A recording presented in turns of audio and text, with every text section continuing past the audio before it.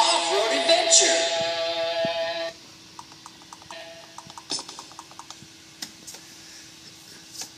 Type in your name, then click it. Sorry, there isn't enough room for all those letters. Sorry, there isn't enough room for...